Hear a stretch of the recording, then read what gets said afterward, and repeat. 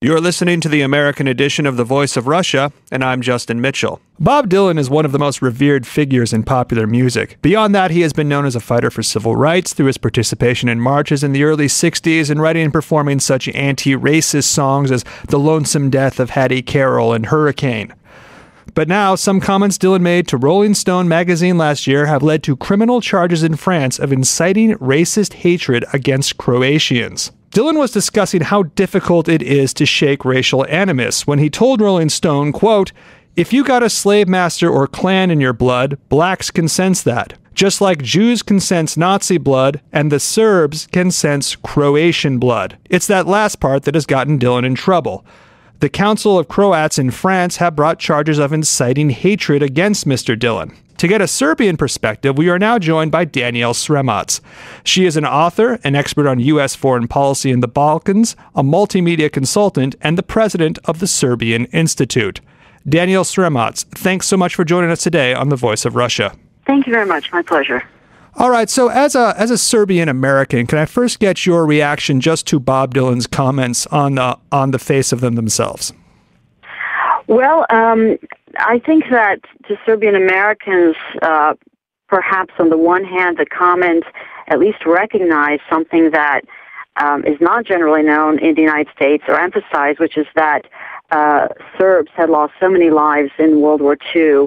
Uh, Serbians who were fighting on behalf of you know the Allies, um, and they lost their lives due to uh, the Croatian Nazis uh, having put them in camps, and anywhere between 400,000 to 700,000 Serbs were tortured in these camps and killed in despicable ways, and their children and, and parents, and, and in fact, generations today um, have lost those parents. I remember that time.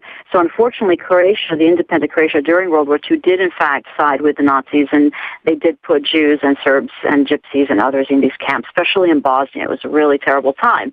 Um, having said that, it's also, uh, you know, the Serbs from the recent war in, in Croatia, uh, there have been the Operation Storm in Croatia, which really resulted in, in hundreds of thousands of Serbs being uh, basically driven from Croatia, and many of them, you know, have died, at least 20,000. So um, this is something that's not really as well known for many different reasons. One of which is that Serbs simply didn't didn't have a PR campaign like the other ethnic groups. So I think on the one hand, to Serbian Americans, they feel, oh wow, you know, somebody, at least Bob Dylan, had actually recognized that there is the suffering that we we felt. On the other hand. I can't quite say that you that that Serbs in general feel that way toward Croatians because they live together within Yugoslavia. Many families have relatives that may be Croatian or Serbian, mixed marriage. So um, and I think I personally, for example, when I meet somebody who's Croatian, it doesn't occur to me. I don't connect them to like the way that maybe uh, Jews would feel toward Nazis.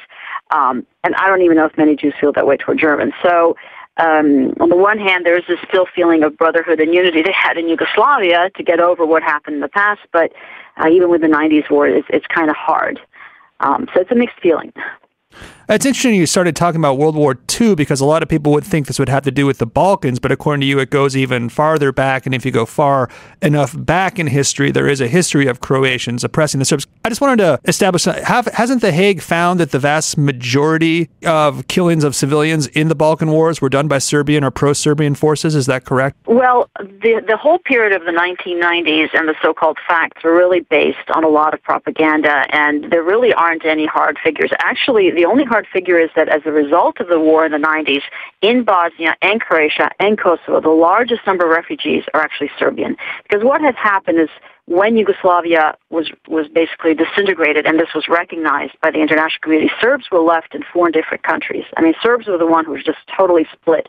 And their traditional lands where they lived, whether in Bosnia or Croatia, Kosovo, you know, Serbia, they ended up being split, and it seemed like only Serbian rights to self-determination were not recognized. So um, the other groups, the Croatians and the Bosnian Muslims and so forth, they really fought hard to push their point of view in Washington and everywhere else.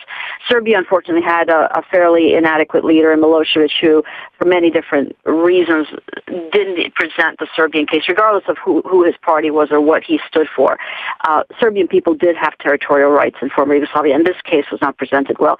There was a lot of fighting. There was war crimes on all sides. There really aren't any clear numbers right now. But um, I think the general opinion or something that's being pushed out there is that you'd feel like yes you're blaming the Serbs for that. So I think the Dylan statement finally recognized that you know actually uh, Serbs in Croatia were driven not, not not only in the 1990s but even in World War II. So um, it, it's it's a very complex situation and what the general opinion is in the media out there is not exactly reflected in the facts. Do you understand where the Croatians are coming from to a point? I spoke actually to um, the lawyer who is representing uh, the Council of Croats in France, and he said that uh, what Dylan's uh, statement basically did was attempt to uh, take uh, Croatians, as in all Croatians, and equate them with what he calls criminal organizations, which are, he's referring to the Ku Klux Klan and the Nazis. Do you, mm-hmm. as somebody, I mean, I'm Serbs have definitely faced a share of animus due to their ethnicity. Do you kind of understand where the Croatians are coming from in any shape yeah. or form? Yeah, yeah, I I do understand, and I think that's a valid point because if you say Nazis, you're not saying Germans. And I think maybe maybe Dylan, I can't speak for him, but maybe he made a bit of a mistake. He should have made a distinction, maybe say Croatian Nazis in World War II or something like that. Um, on the uh, on the other hand, when people talk about Serbs, they do tend to say the Serbs and have said that for you know throughout the 1990s and have um, certainly denigrated Serbs and, and, and put them all in the same bag.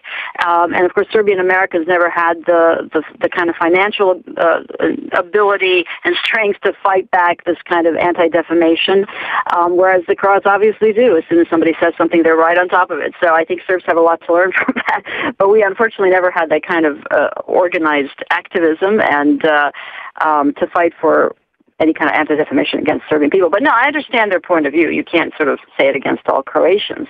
What Dylan was saying was at least for the first time of recognizing, though, that Serbs had died in World War II, and, and in comparison to their population, it's huge numbers. How how many how many crimes were committed against them in Croatia and, and Bosnia in particular by Croatians. So um, um and others, uh, you know, there were the Bosnian Muslim forces were also allied with the Nazis. So uh, um, I understand Dylan. I understand the Croatian community for also being upset about the way he said that. So, uh, you know, uh, let's hope we can resolve all this. What do you think would be, uh, just as a Serbian American, what is uh, a way this could be resolved that could please everyone in the situation? Well, I, I think Bob Dylan could could make a you know a clarification maybe and say that what he was referring to was the suffering of Serbs and Jews in World War II the suffering suffering of Serbs in Croatia during the Krajina attacks, which there was a lot of suffering. A lot of these people's homes still haven't been reser- returned. There's still a lot of great deal of prejudice against Serbs in Croatia to this day. Um, you know, Serbian signs are being torn down. a lot of bigotry and biases against Serbian population in Croatia. Not obviously not all Croatians feel that way towards Serbs, but it's not exactly easy right now today to live in Croatia as a Serb. So I, th- I think Dylan could maybe clarify that any kind of lack of tolerance to any ethnic group is unacceptable, and that what he meant was maybe the uh, the extreme radical Croatian groups as opposed to all Croatians. I think he might might clarify that. All right, great. Uh, Danielle Sremac is an author, an expert on U.S. foreign policy in the Balkans, a multimedia consultant, and the president of the Serbian Institute. Uh, Danielle Sremac, thanks so much for joining us today on Voice of Russia and giving us a Serbian perspective. Thank you. My pleasure. And I am Justin Mitchell, and you are listening to the American edition of The Voice of Russia. and Of The Voice